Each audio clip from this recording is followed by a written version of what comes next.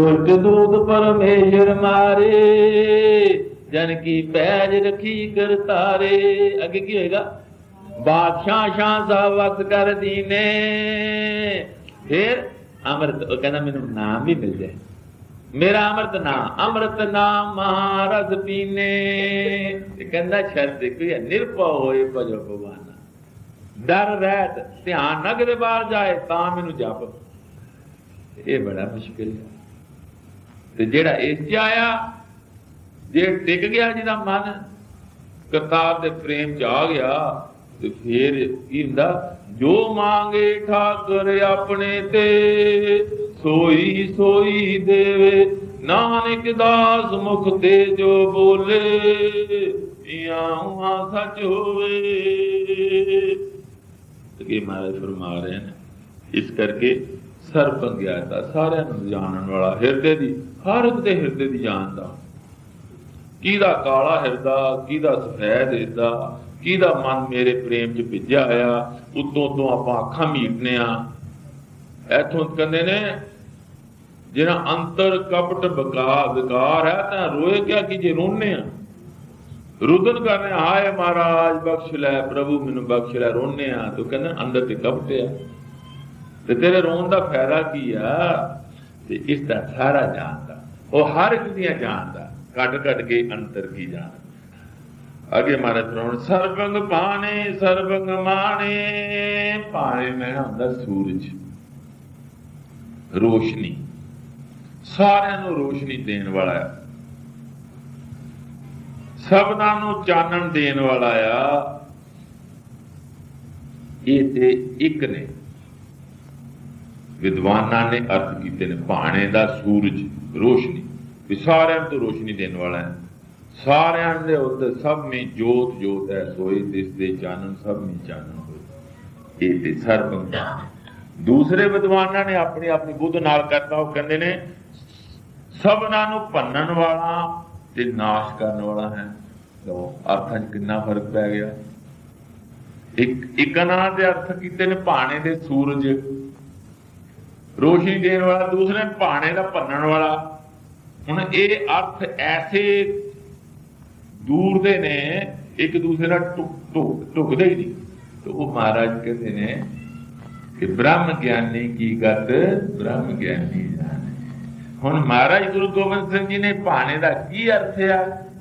ਉਹਨਾਂ ਨੇ ਭਾਣੇ ਦਾ ਕੀ ਆਪਣੇ ਮਨ 'ਚ ਧਾਰਿਆ ਕਿਸ ਤਰ੍ਹਾਂ ਬੋਲਿਆ ਅਕਾਲ ਪੁਰਖ ਨੂੰ, ਉਹ ਉਹੀ ਜਾਣ ਸਕਦੇ ਨੇ ਜਾਂ ਉਹਨਾਂ ਦੇ ਪਿਆਰੇ ਜਿਹੜੇ ਉਹਨਾਂ ਨਾਲ ਮਿਲ ਚੁੱਕੇ ਨੇ, ਜਾਣਦੇ ਅਸੀਂ ਵਿਦਵਾਨ ਐਵੇਂ ਕੋਚੀਆਂ ਕਰੀ ਜਾਂਦੇ ਆ ਐਵੇਂ ਆਪਣੇ ਗਿਆਨ ਗੋਸ਼ ਲਓ, ਕਿੰਨਾ ਫ਼ਰਕ ਆ ਇਹ ਇਹ ਦੋਹਾਂ ਅਰਥਾਂ 'ਚ। ਉਹ ਕਈਆਂ ਵਿਦਵਾਨਾਂ ਦੇ ਅਰਥ ਕੀਤੇ ਨੇ, ਭਾਣੇ ਦਾ ਕਿ ਸਭ ਨੂੰ ਚਾਨਣ ਦੇਣ ਵਾਲਾ, ਸਭ ਨੂੰ ਗਿਆਨ ਦੇਣ ਵਾਲਾ, ਸਭ ਨੂੰ ਆਪਣਾ ਜੀਆ ਦਾਨ ਦੇਣ ਵਾਲਾ। ਰੋਸ਼ਨੀ ਦੇਣ ਵਾਲਾ, ਦੂਸਰਾ ਨੇ ਕਿਹਾ, ਭਾਣੇ ਦਾ ਅਰਥ ਕਰਦਾ ਸਭ ਨੂੰ ਭੰਨਣ ਵਾਲਾ, ਨਾਸ਼ ਕਰਨ ਵਾਲਾ। ਤੋ, ਜੋ ਅਰਥ ਪਹਿਲੇ ਨੇ, ਉਹ ਜ਼ਿਆਦਾ ਦੇਣ ਵਾਲਾ, ਕਿਉਂਕਿ ਅੱਗੇ ਮਾਨੇ ਮਹਾਰਾਜ ਫਰਮਾਰਨ ਸਭ ਦੇ ਵਿੱਚ ਤੂੰ ਮੰਨਣ ਵਾਲਾ, ਸਭ ਤੈਨੂੰ ਪੂਜਦੇ ਨੇ ਸਰਬੰ ਪਾਣੇ ਸਰਬੰ ਮਾਨੇ ਸਾਰਿਆਂ ਵਿੱਚ ਮੰਨਿਆ ਜਾਣ ਵਾਲਾ, ਸਾਰਿਆਂ 'ਚ ਪੂਜਿਆ, ਪੂਜਾ ਕਰਾਉਣ ਵਾਲਾ ਸਭ ਦੇ ਤੇਰੇ ਅੱਗੇ ਸਿਰ ਨਵਾਉਂਦੇ ਨੇ, ਸਭ ਤੇਰੀ ਸਰਦਾਰੀ ਨੂੰ ਮੰਨਦੇ ਨੇ, ਹੁਕਮ ਨੂੰ ਮੰਨਦੇ ਨੇ, ਸਰਬੰ ਸਰਬੰ ਮਾਨੇ। ਤੇ ਇਹ ਪਾਣੇ ਉਹਦੇ ਚ ਜ਼ਿਆਦਾ ਟੁਕਦਾ ਆ, ਸਾਰਿਆਂ ਨੂੰ ਤੂੰ ਰੋਸ਼ਨੀ ਦੇਣ ਵਾਲਾ। ਪਰ ਮਹਾਰਾਜ ਜੀ ਜਾਣਦੇ ਨੇ ਕਿ ਪਾਣੀ ਦਾ ਕੀ ਅਰਥ ਹੈ। ਆਪਾਂ ਤਾਂ ਆਪਣੀ ਬੁੱਧ, ਜਿੰਨੀ ਕੁ ਤੁਛ ਬੁੱਧੀ ਆ ਉਹਨਾਂ ਗਰਤ ਕਰ ਦਿੰਦੇ ਆ।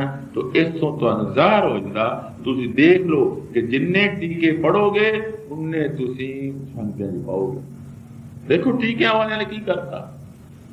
ਇੱਕ ਨੇ ਕਿਹਾ ਕਿ ਨਾਸ਼ ਕਰਨ ਵਾਲਾ ਇੱਕ ਨੇ ਕਿਹਾ ਰੋਸ਼ਨੀ ਦੇਣ ਵਾਲਾ। ਇੱਕ ਨੇ ਕਿਹਾ ਸੱਤਿਆ ਦੇਣ ਵਾਲਾ ਇੱਕ ਨੇ ਕਿਹਾ ਨਸ਼ਟ ਕਰਨ ਵਾਲਾ। ਸੋ ਇਹ ਟੀਕੇ ਕਾਰਨ ਦਾ ਹੈ ਵੀ ਆਪੇ ਆਪਣੀ ਬੁੱਧ ਹੈ। ਤੇ ਇਹ ਮਹਾਰਾਜ ਸੰਤ ਤੱਤੇ ਜੈਸੀ ਮਹਾਰਾਜ ਕਹਿੰਦੇ ਹੁੰਦੇ ਸੀ ਸਤਤ ਸੀ ਮਹਾਰਾਜ ਨੇ ਕੋਈ ਟੀਕੇ ਨਹੀਂ ਪੜੇ ਮਹਾਰਾਜ ਨੇ ਸਿਰਫ ਊੜਾ ਆੜਾ 35 ਅੱਖਰ ਪੜ ਕੇ ਮਹਾਰਾਜ ਦੇ ਬਾਣੀ ਪੜੀ ਬਾਣੀ ਪੜ ਕੇ ਮਹਾਰਾਜ ਦੇ ਲੜ ਲਗੇ। ਹੋਰ ਕੋਈ ਨਹੀਂ ਕਿਤਾਬਾਂ ਪੜੀ ਔਰ ਔਰ ਇੰਨਾ ਵੱਡਾ ਗਿਆਨ ਸੀ ਕਿ ਤੁਸੀਂ ਕਹਿੰਦੇ ਨੇ, ਸੰਤ ਜਸੀ ਮਹਾਰਾਜ ਬਾਹਰੋਂ ਅਮਰੀਕਾ ਤੋਂ ਆਏ ਜਦੋਂ ਪੜ ਕੇ ਤੇ ਆ ਕੇ ਮੱਥਾ ਟੇਕਿਆ, ਸੰਤ ਆਦਰ ਸਿੰਘ ਮਹਾਰਾਜ ਬੈਠੇ ਸੀ। ਅਦਰ ਮਹਾਰਾਜ ਹੱਸ ਕਹਿੰਦੇ, ਭਾਈ ਬਾਹਰੋਂ ਕੀ ਸਿੱਖ ਕੇ ਆਇਆ? ਕਿਉਂਕਿ ਸਾਇੰਸ ਦਾ ਵੱਡਾ ਯੁੱਗ ਸੀ, ਹੁਣ ਵੀ ਸਾਇੰਸ ਬੜੀ ਤਰੱਕੀ ਕਰ ਰਹੀ ਹੈ ਉਦੋਂ ਕਹਿੰਦੇ 1911 12 ਚ, ਈਸਵੀ ਚ। ਕਹਿੰਦੇ ਮਹਾਰਾਜ, ਉਹ ਲੋਕਾਂ ਨੇ ਵਿਗਿਆਨ ਦੇ ਵਿੱਚ ਸਾਇੰਸ ਵਿੱਚ ਬੜੀ ਤਰੱਕੀ ਕੀਤੀ ਆ। ਉਹਨਾਂ ਨੇ ਦੂਰਬੀਨਾਂ ਲਾ ਲਾ ਕੇ, ਵੱਡੀਆਂ ਦੂਰਬੀਨਾਂ ਲਾ ਕੇ ਦੇਖਿਆ, ਇੱਕ ਸਿਤਾਰੇ ਇੱਕ ਤਾਰੇ ਦੇ ਵਿੱਚ ਕੋਈ ਉਹਨਾਂ ਨੇ ਦੇਖਿਆ ਕਿ ਹਰਿਆਵਲ ਆ, ਉੱਥੋਂ ਵਸੋਂ ਮਹਾਰਾਜ ਹੱਸਦੇ। ਕਹਿੰਦੇ, ਭਾਈ, ਇੱਕ ਧਰਤੀ, ਇੱਕ ਸਤਾਰ ਆਇਆ ਸੋ ਜਾਇਆ, ਇੱਕ ਤਾਰ ਆਇਆ ਹੋ ਜਾਇਆ, ਧਰਤੀ ਆ ਹੋ ਜਿੱਥੇ ਬ੍ਰਹਮ ਗਿਆਨੀ ਵਸਦੇ ਮਹਾਰਾਜ ਹੱਸ ਕੇ ਕਹਿੰਦੇ ਕਿਉਂਕਿ ਸਾਰਾ ਗਿਆਨ ਹੈ ਫਿਰ ਕਹਿੰਦੇ ਕਿਸੇ ਨੇ, ਇੱਕ ਵਾਰੀ ਕਿਹਾ, ਮਹਾਰਾਜ ਮਸਤਵਾਣਾ ਜੇ ਠੀਕ ਨਹੀਂ ਹੈ ਮਸਤਵਾਨਾ ਦੀ ਬੁਰੀ ਹਾਲਤ ਹੋ ਗਈ ਹੈ ਮਹਾਰਾਜ ਸੇਵਾ ਨਹੀਂ ਕਰਦੇ, ਕੋਈ ਮਹਾਰਾਜ ਉਹ ਪੜ੍ਹਾਈ ਨਹੀਂ ਕਰਵਾ ਰਹੇ, ਕਾਲਜ ਇਹ ਹੈ, ਉਹ ਹੈ ਈਰਖਾ ਵਿਰੋਧ ਹੋ ਗਈ। ਚਲੋ ਮਹਾਰਾਜ ਦਾ, ਉਹਦੇ ਵਾਸਤੇ ਕੁਝ ਕਰੋ। ਤੇ ਮਹਾਰਾਜ ਕਿਤੇ ਬਾਅਦ ਗਏ ਹੋਏ ਸੀ, ਬੜੇ ਦਿਨਾਂ ਫੈਸਲਾ ਕਹਿੰਦੇ, ਇੱਕ ਅੱਖ ਦੇ ਫੋਰ ਵਿੱਚ ਕਈ ਖੰਡ ਬ੍ਰਹਮੰਡ ਬਣ ਰਹੇ ਤੇ ਕਈ ਢਹਿ ਰਹੇ ਨੇ। ਇੱਕ ਅੱਖ ਦੇ ਫੋਰ ਦੇ ਵਿੱਚ ਕਈ ਖੰਡ ਬ੍ਰਹਮੰਡ ਬਣ ਰਹੇ ਨੇ, ਕਈ ਢਹਿ ਰਹੇ ਤੁਸੀਂ ਦੇਖਿਆ ਨਾ, ਇਹ ਤਾਰੇ ਕਈ ਢਹਿੰਦੇ ਹੁੰਦੇ ਨੇ। ਸਾਨੂੰ ਕਿ ਨਜ਼ਰ ਹੀ ਨਹੀਂ ਆ ਰਹੇ। ਕਹਿੰਦੇ ਨੇ ਐਨਾ ਵੱਡਾ ਸੰਸਾਰ ਆ, ਸਾਇੰਸਦਾਨਾਂ ਨੇ ਨਿਕਲ ਲਿਆ ਕਿ ਵੱਧਦਾ ਵੱਧਦਾ ਜਾ ਰਿਹਾ। ਹੁਣ ਫਿਜ਼ਿਕਸ ਦਾ ਮੈਂ ਲਸਟਡ ਵੀਕਲੀ ਚ ਇੱਕ ਆਰਟੀਕਲ ਪੜਿਆ ਸੀ। ਉਹ ਕਹਿੰਦੇ ਨੇ, ਸਾਇੰਸਦਾਨ ਕਹਿ ਰਹੇ ਨੇ ਕਿ ਇਹ ਵੱਧਦਾ ਹੀ ਜਾ ਰਿਹਾ। ਇੱਕ ਨੁਕਤੇ ਤੋਂ ਨਿਕਲਿਆ ਤਾਂ ਵੱਧਦਾ ਹੀ ਜਾ ਰਿਹਾ, ਵੱਧਦਾ ਹੀ ਜਾ ਰਿਹਾ।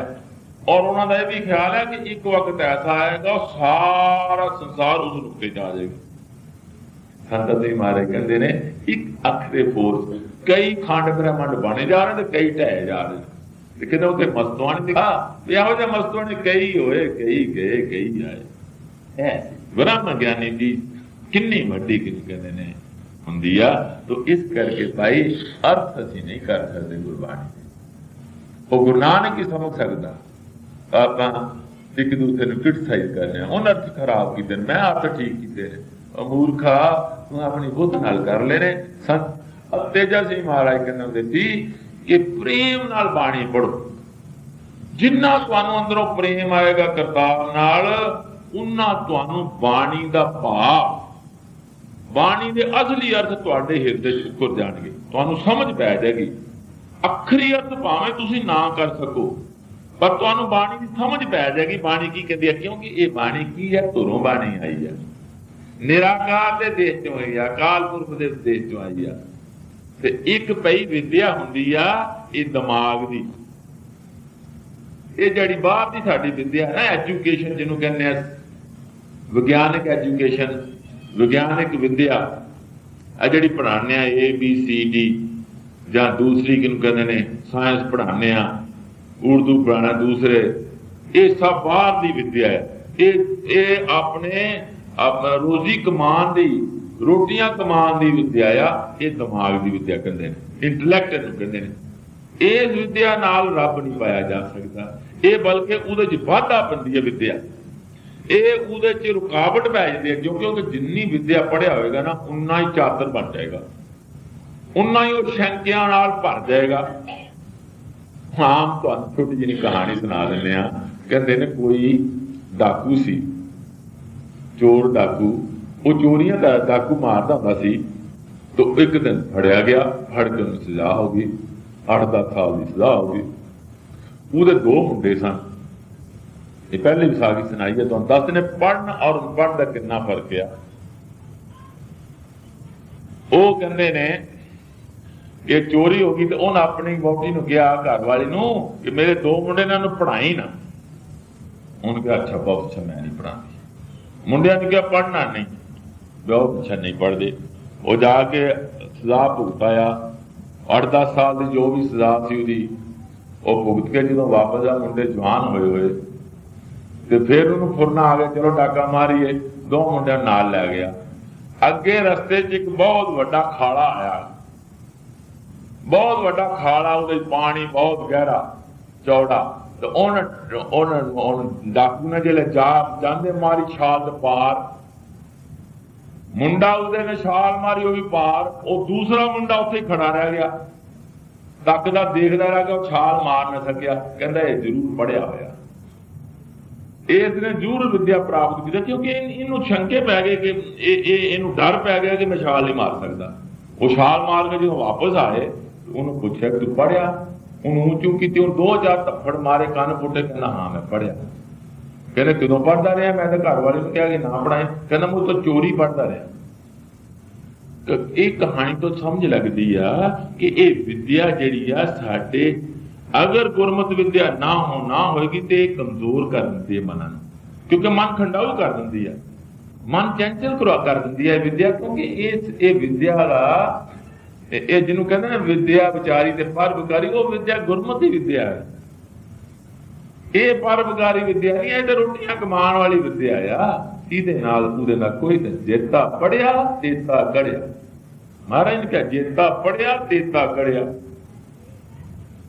ਪਿਛਲੇ ਵਕਤਾਂ 'ਚ ਵੀ ਬੜੇ ਬੜੇ ਉਹ, ਜਿਹੜੇ ਹੁੰਦੇ ਸੀ, ਪੰਡਤ ਜਾਂ ਦੂਸਰੇ, ਉਹ ਬੜੇ ਬੜੇ ਹੁੰਦੇ ਸੀ। ਊਂਟਾਂ ਦੇ ਲੱਦ ਕੇ, ਗੱਡਿਆਂ ਦੇ ਲੱਦ ਕੇ ਆਪਣੇ ਸ਼ਾਸਤਰ ਦੂਸਰਾ ਬਹਿਸ ਕਰਨ ਜਾਂਦੇ ਹੁੰਦੇ ਸੀ। ਬਹਿਸ ਦੇ ਵਿੱਚ ਸਾਰੇ ਸ਼ਾਸਤਰ ਜਾਂ ਹਾਰ ਜਾਂਦੇ, ਜਾਂ ਜਿੱਤ ਆਉਂਦੇ ਸੀ। ਰੱਬ ਦੇ ਘਰ ਦਾ ਕੋਈ ਪਤਾ ਹੀ ਨਹੀਂ। ਇਸ ਕਰਕੇ ਭਾਈ, ਇਹ ਇਹ ਪੜ੍ਹਾਈ ਜਿਹੜੀ ਆ ਇੰਟੈਲੈਕਟ ਦੀ ਪੜ੍ਹਾਈ ਆ, ਦੂਸਰਾ, ਦੂਸਰੀ ਪੜ੍ਹਾਈ ਜਿਹੜੀ ਆ, ਇਲਮ ਜਿਹੜਾ ਹਿਰਦੇ ਦਾ ਹੁੰਦਾ। ਇੱਕ ਤੇ ਦਿਮਾਗ ਦਾ ਇਲਮ ਆ ਨਾ। ਦਿਮਾਗ ਦੀ ਵਿੱਦਿਆ, ਉਹ ਵਿੱਦਿਆ ਜਿਹੜੀ ਅਸੀਂ ਪੜ੍ਹਨੇ ਆ। ਦੁਨਿਆਵੀ ਵਿੱਦਿਆ। ਹਿਰਦੇ ਦੀ ਵਿਦਿਆ ਜਿਹੜੀ ਆ ਹਾਰਟ ਦੀ ਲੈਂਗੁਏਜ ਇੱਕ ਤੇ ਬ੍ਰੇਨ ਦੀ ਲੈਂਗੁਏਜ ਹੈ ਇੱਕ ਹਾਰਟ ਦੀ ਲੈਂਗੁਏਜ ਹੈ ਹਾਰਟ ਹਿਰਦੇ ਦੀ ਵਿਦਿਆ। ਉਹ ਹਿਰਦੇ ਦੀ ਵਿਦਿਆ ਸਾਰਿਆਂ ਨੂੰ ਸਮਝ ਲੱਗਦੀ ਆ। ਭਾਵੇਂ ਉਹਨੂੰ ਅਰਥ ਸਮਝ ਲੱਗਣ ਨਾ ਲੱਗਣ, ਉਹਨੂੰ ਆਨੰਦ ਆ ਰਿਹਾ ਕਿਸ ਤਰ੍ਹਾਂ? ਕਈ ਕਹਿੰਦੇ ਨੇ ਕਿ ਬਾਹਰੋਂ ਅਮਰੀਕਾ ਤੋਂ ਕਿਸੇ ਦੋਸਤ ਆਏ। ਸਿੱਖ ਦੇ। ਉਹ ਉਹ ਲੈ ਗਿਆ ਉਹਨਾਂ ਨੂੰ। ਚੱਲ ਕਹਿੰਦੇ ਗੋਲਡਨ ਟੈਂਪਲ ਦੇਖਣਾ। ਉਹ ਗੋਲਡਨ ਟੈਂਪਲ ਤੇ ਲੈ ਗਏ ਉਹਨਾਂ ਨੂੰ। ਅੰਗਰੇਜ਼ ਸਾਨੂੰ, ਉਹਨਾਂ ਨੂੰ ਪੰਜਾਬੀ ਤੇ ਨਹੀਂ ਸੀ। ਉਹ ਜਾ ਕੇ ਬੈਠ ਗਿਆ, ਉਹਦੇ ਦੋਸਤ ਅੰਗਰੇਜ਼ ਜਿਹੜੇ ਤੇ ਉਹ ਵੀ ਬੈਠ ਗਿਆ। ਉਹ ਵਕਤ ਹੋ ਗਿਆ ਤੇ ਅੰਗਰੇਜ਼ ਅੱਖਾਂ ਮੀਟ ਕੇ ਝੂਮੀ ਜਾਏ ਝੂਮੀ ਜਾਏ। ਉੱਠਣ ਦਾ ਨਾਂ ਹੀ ਨਾ ਲਵੇ। ਉਹ ਫਿਰ ਉਹਨੂੰ ਇਸ਼ਾਰਾ ਕੀਤਾ ਵੀ ਉੱਠ, ਕਹਿੰਦਾ, ਨਹੀਂ, ਅਜੇ ਆਓ। ਲੈਟ ਮੀ ਹੀਅਰ ਮੋਰ ਮੈਨੂੰ ਹੋਰ ਸੁਣ ਦੇ। ਉਹ ਫਿਰ ਬਹਿ ਗਿਆ। ਉਹ ਕਿੰਨਾ ਚਿਰ ਬਾਅਦ ਫਿਰ ਉਹਨੂੰ ਝੂੜਾ ਗਿਆ ਵੀ ਤੇਰਾ ਉਹ ਜਾਂ ਟ੍ਰੇਨ ਨਿਕਲ ਜਾਣੀ ਆ ਜਾਂ ਹੋਏਗਾ ਉਹਨੇ ਹੁਣ ਬਹਾਨੇ ਲਾਇਆ ਤੇ ਉੱਠਿਆ, ਬਾਹਰ ਜਾ ਕੇ ਕਹਿੰਦਾ ਭਈ ਤੈਨੂੰ ਸਮਝ ਤੇ ਹੈ ਨਹੀਂ ਤੈਨੂੰ ਪੰਜਾਬੀ ਦੀ ਸਮਝ ਨਹੀਂ ਅੱਗੋਂ ਜਿਹੜਾ ਅੰਦਰੋਂ ਕੀਰਤਨ ਗਾ ਰਹੇ ਸੀ, ਉਹਦੀ ਤੈਨੂੰ ਕਿਸ ਤਰ੍ਹਾਂ ਸਮਝ ਪਈ ਤੂੰ ਕੀ ਕਹਿੰਦਾ, ਸਮਝ ਤਾਂ ਨਹੀਂ ਸੀ ਪੈਂਦੀ ਵੀ ਕੀ ਗਾ ਰਹੇ ਨੇ, ਪਰ ਅੰਦਰ ਹਿਰਦਾ ਵੇਧਿਆ ਜਾ ਰਿਹਾ ਸੀ। ਹਿਰਦੇ 'ਚ ਇੰਨਾ ਪ੍ਰੇਮ ਆ ਰਿਹਾ ਸੀ ਮੈਨੂੰ ਪਰਮਾਤਮਾ ਦਾ, ਕਿ ਮੈਂ ਤੈਨੂੰ ਬਿਆਨ ਨਹੀਂ ਕਰ ਸਕਦਾ। ਇਹ ਹਿਰਦੇ ਦੀ ਲੈਂਗੁਏਜ ਹੈ ਹਾਰਟ ਦੀ ਲੈਂਗੁਏਜ ਹੈ। ਭਾਵੇਂ ਨਾਮ ਹੀ ਸਮਝ ਆ ਗਏ, ਹਿਰਦੇ ਨੂੰ ਵੇਧਦੀ ਹੈ। ਕਈ ਐਵੇਂ ਕਹਿੰਦੇ ਨਾ ਕਿ ਜੀ ਬਾਣੀ ਦੇ ਅਰਥਾਂ ਦੀ ਨਾ ਸਮਝ ਲੱਗੇ, ਕਦੇ ਫਜ਼ੂਲ ਹੈ ਪੜਨਾ ਮੂਰਖ ਨੇ ਮਹਾ ਮੂਰਖ ਨੇ। ਤੋ ਇਸ ਕਰਕੇ ਬਾਣੀ ਨੂੰ ਆਪਾਂ ਪ੍ਰੇਮ ਪ੍ਰੇਮ ਚਾਹੀਦਾ। ਬਾਣੀ ਨੂੰ ਕਿਸ ਤਰ੍ਹਾਂ ਪੜਨਾ ਬਾਣੀ ਗੁਰੂ ਹੈ।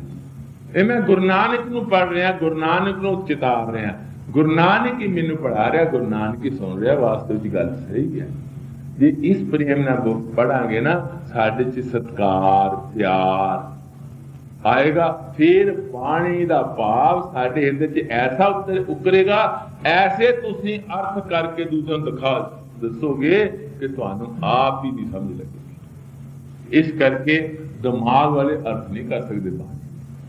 ਕਿਉਂਕਿ ਉਹਨਾਂ ਦਿਮਾਗ ਹੀ ਚੱਲਦਾ ਆ, ਦਿਮਾਗ ਵਾਲੇ ਨੇ ਅਰਥ ਕਰਕੇ ਦੇਖ ਲਿਆ, ਭਾਣੇ ਦਾ ਕੀ ਕਰਤਾ ਦੋ ਮੁਸਦਾ ਮੁਸਤਾਬ ਜੋ ਆਪੋਜ਼ਿਟ ਡਾਇਰੈਕਸ਼ਨ ਦੇ ਵਿੱਚ ਅਰਥ ਕਰ ਦਿੱਤੇ ਨੇ। ਸਰਬੰਗਮਾਣੇ ਸਾਰਿਆਂ ਚ ਮੰਨਿਆ ਜਾ ਰਿਹਾ, ਸਾਰਿਆਂ ਚ ਪੂਜਿਆ ਜਾ ਰਿਹਾ। ਸਰਬੰ ਪ੍ਰਾਨੰ, ਸਰਬੰ ਤ੍ਰਾਨੰ। ਸਾਰਿਆਂ ਦੇ ਪ੍ਰਾਣ ਹੈ ਸਾਰਿਆਂ ਨੂੰ ਜੀਆ ਦਾਨ ਦੇਣ ਵਾਲਾ।